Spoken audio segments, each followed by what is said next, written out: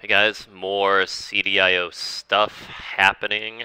Um, yeah, so this, and uh, we got a crazy push in the pre-market. Um, and a lot of these crazy pushes like can actually be quite bearish on just because of how aggressive it is, straight up only from you know deep support levels.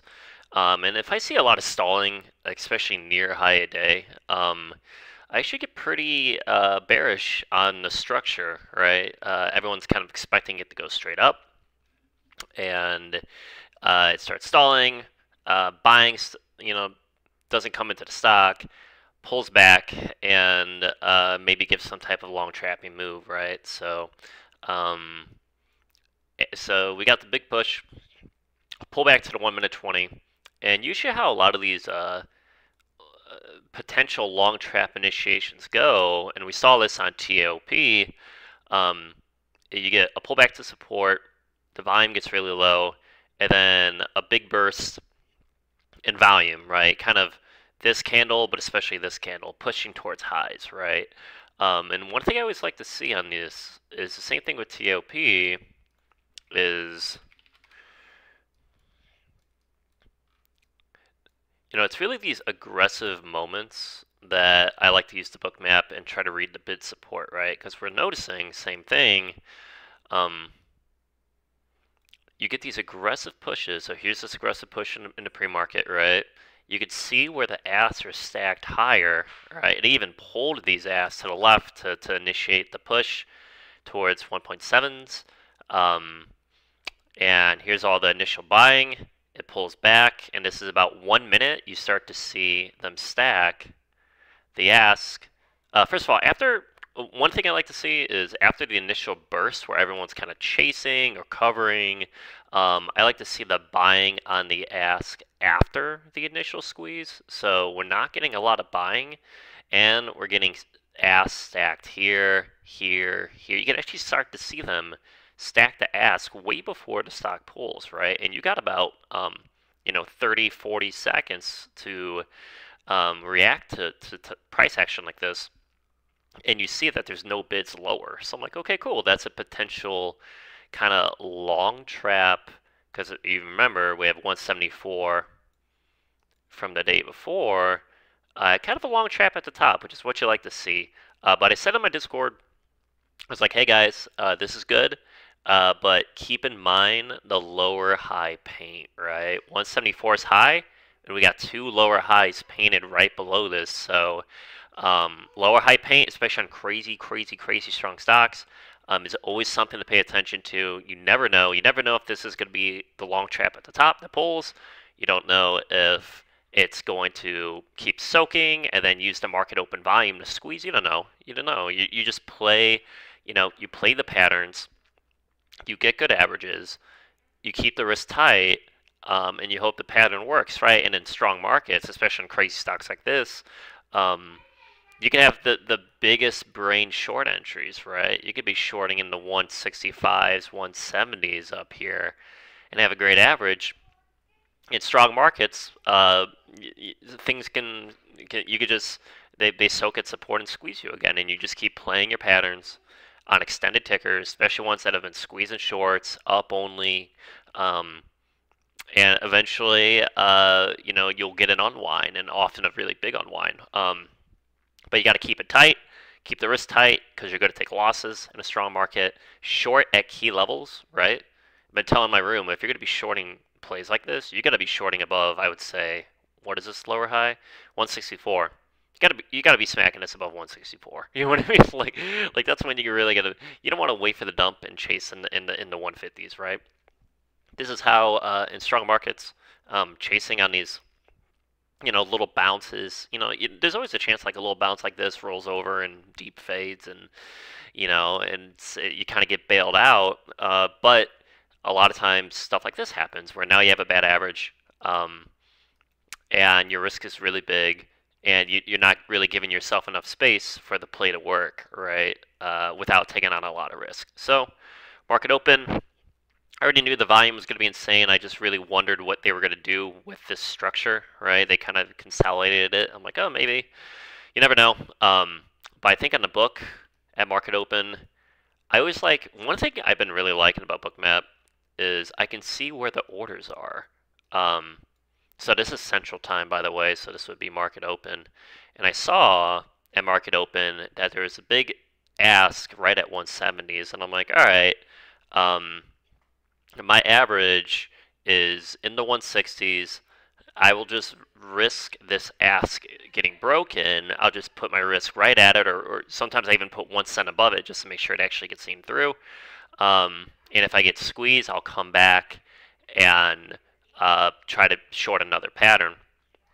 So, uh, obviously, the sticker is super, super, super extended, right? We're, we're on like day three of a massive, massive like up only, up only, up only, then another, like more up only. so it's like, um, I get very bearish the more up only swipes there are, and this just goes to show you how many there can be, right? This is one up only, that's two, three, four five. Like it's it's it's insane what some of these tickers can do, and it's important to remember tickers like these, um, because it shows you the potential of these types of plays.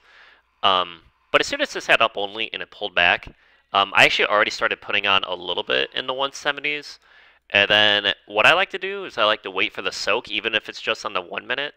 And I like to see it, you know, here's a one minute nine it starts to re, you know, it dips into the low 160s, pushes back above 170, and I just made an instant read right here. I'm like, if this starts to stall even a little bit on this push, um, which we could see that here, and I was also watching a Bookmap.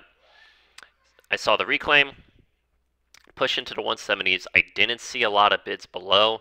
I uh, put on a starter, and then once it cracked the 170s here, I started shorting the rest, right? So um, I pretty much just had a 170 average, which is where I stopped out to begin with. So kind of went right back in where I lost. And then, you know, an important thing to know about CDIO is we just went through two days of like relentless short squeezes with infinite bid support, short squeezes with infinite bid support, short squeezes with what looks like infinite bid support.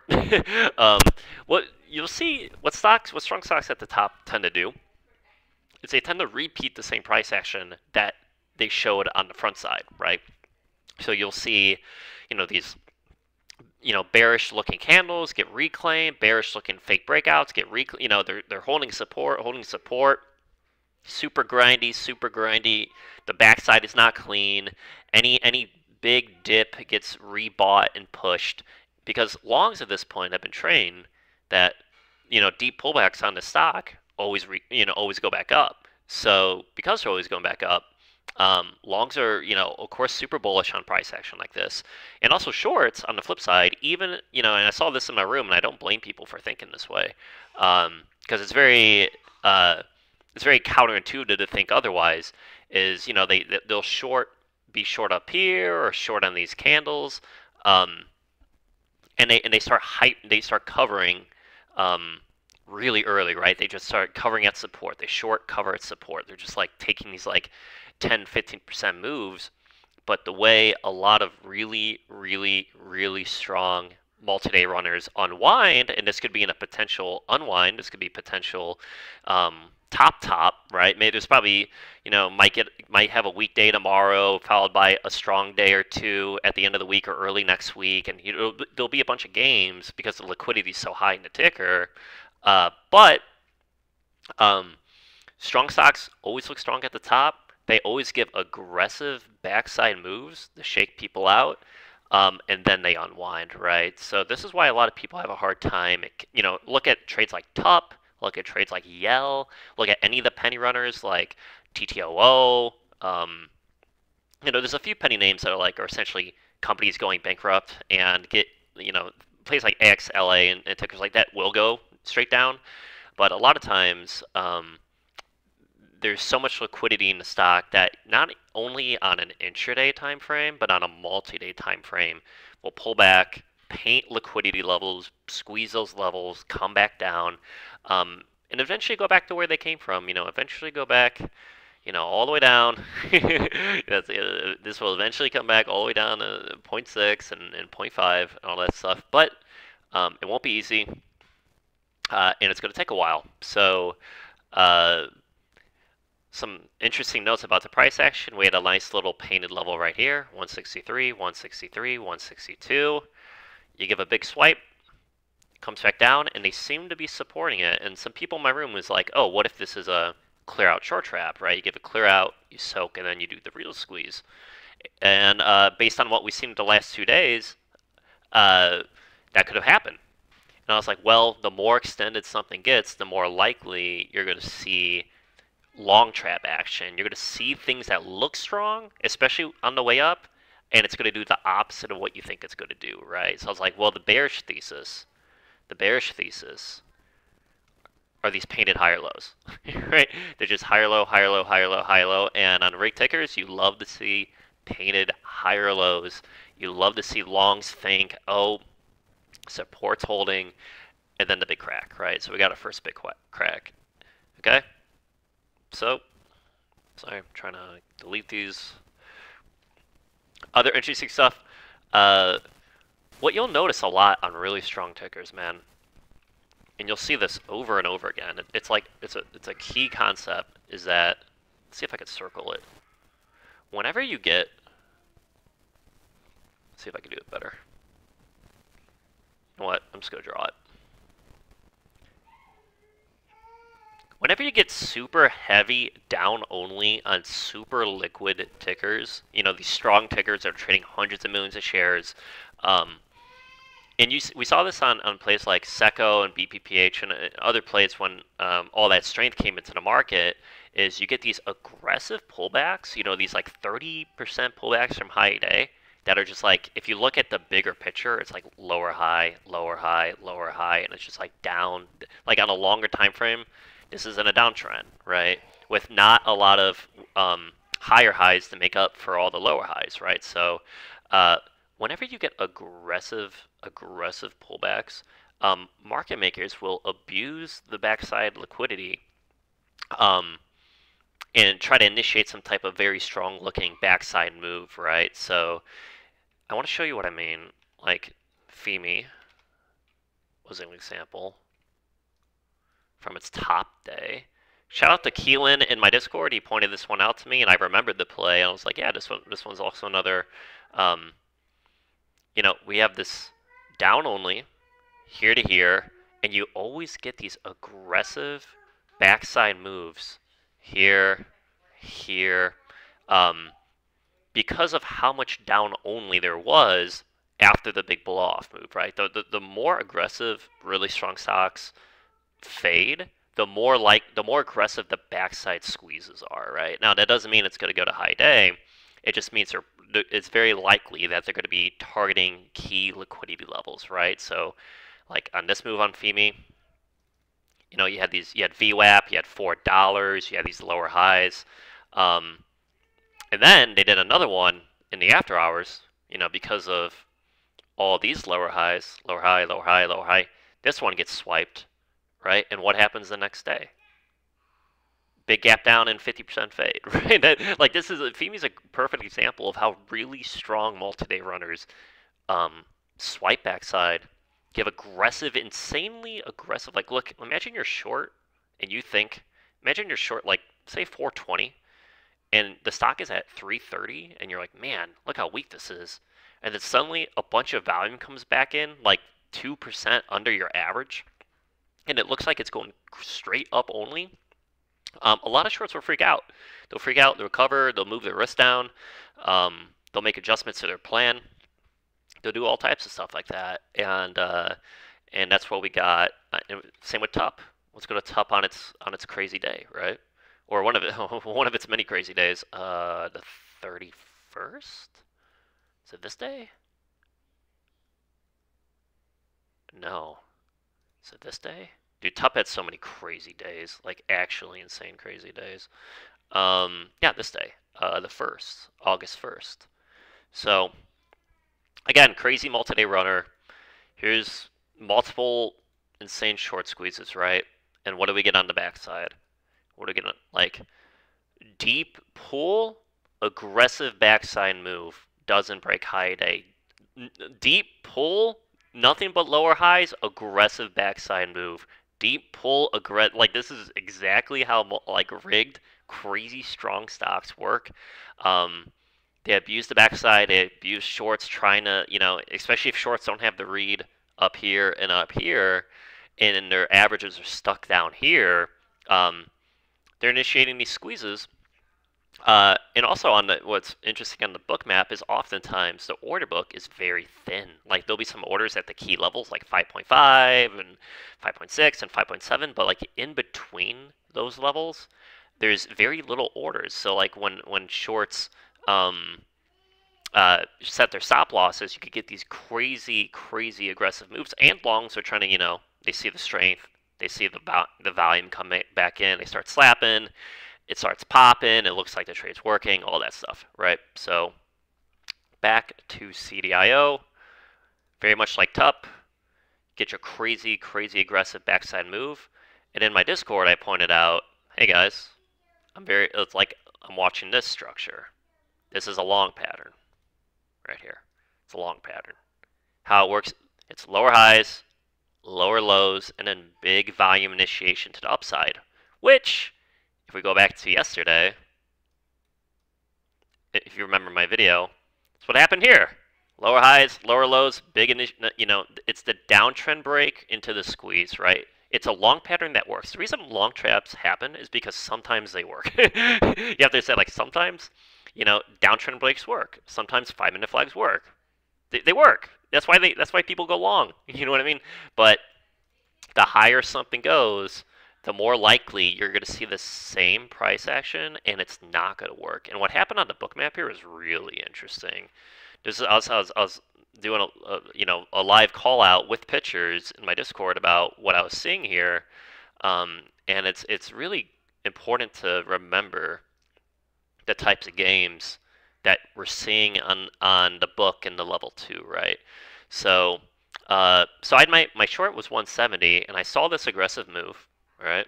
And I'm like, oh, the level I really care about is 175 because 175 has 150,000 shares on the ask up here. So I was like, there's not a lot of shares here, but there's a big order right here. It's like that's really the level I care about. Like anything that happens under this, um, I'm not surprised because how thin the book is, and you know people could just be slapping, uh, market maker moving the stock on a, on you know after the after the deep support swipe, they're moving the stock. I'm like, okay, cool.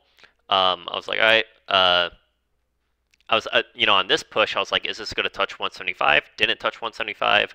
And now we're getting your classic long pattern, right? Lower high, the controlled walk down, the lower highs, lower lows, and what happened was really interesting. Right here, right here, this guy took 75,000 shares from the ask here and he moved it. You can see he moved it. The exact moment that this went from, you know, 120,000 to 50,000, this became 75,000. So he's moving 75,000 shares down. I was like, that's interesting. He, I, and I said it on my Discord, I'm like, he's moving it down. Very interesting. And then he didn't get filled. You got this little push, but he didn't get filled. There's still 75,000 shares. And then right here, he moved it down again. I have to zoom in real close, you'll see.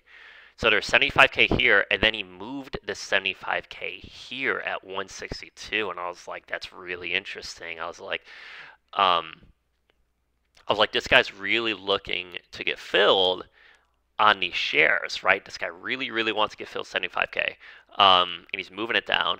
And one thing you often see on Bookmap, and you'll see me talk about this in videos, is a lot a very bearish bearish thing that happens on Bookmap is when they stack, you get a big push, right? On a on a, it, during a structure where there's it's a potential long strap structure where you know longs are going to be chasing, shorts are going to be afraid to hit it. Um, you get a big push, you get a pullback, and then you get a thick, big, big ask that then gets pushed again. The ask gets filled. There's no bid support below, and then they pull it, right? So um, you'll see the same thing over and over again. So I was like, you know, and I saw that, and that's right here. So to see this volume come in at the bottom, a lot of this is that got that 75k ask getting filled, and you, you and you get your bullish uh, initiation to the upside, right? And every you know anyone who's going long this pattern is at least expecting this high to get broken, if not high day, right? So, um, so you get a big push, and you know uh, it pushes. It's in the 160s. It's chilling. I'm just watching this. By the way, I'm, I'm looking up higher, right? I'm looking. I'm seeing that there's an ask at 170 at 172, 40k, 175. So I'm like looking at all these levels. I'm like, okay, like if this long pattern is going to work, it has to have enough volume to really eat through this.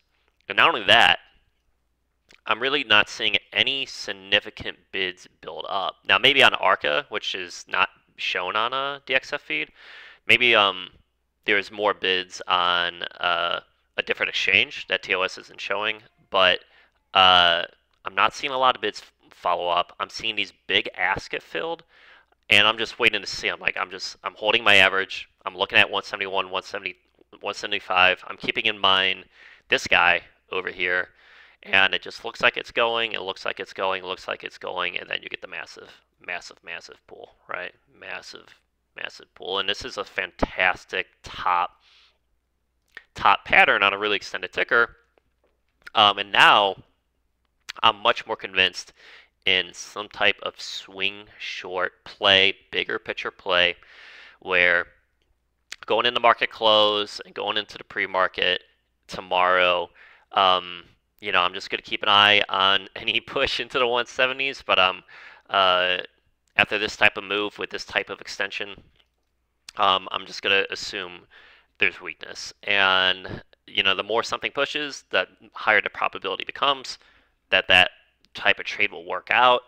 And uh, yeah, and I and I love I love this topping action. I love that this failed. You know, I was already in from earlier, uh, but I love that this failed. And yeah, had a nice little unwind. It's closing near the bottom here. Has a lot of room to fall. There is some potential for backside games. You know, especially maybe targeting 150. Um, but you know, we'll see what happens in the after hours, how it closes. We'll see what happens um, in the pre-market tomorrow. So that's CDIO. Uh, you know, traded my pattern, got squeezed, re-entered because I was like, oh, how many? You know, this was just a very discretionary read on the soak to get to get in here. And then really I should have added on this long trap here. This was or even on this push, but especially on this. But um, I didn't. I just held on to my shares. I covered a little bit in the 130s, and I'm just holding the rest. So we'll see. Um, see how it goes at CDIO. Um, have a good one, guys.